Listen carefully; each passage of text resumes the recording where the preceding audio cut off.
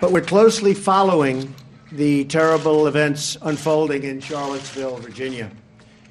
We condemn in the strongest possible terms this egregious display of hatred, bigotry, and violence on many sides.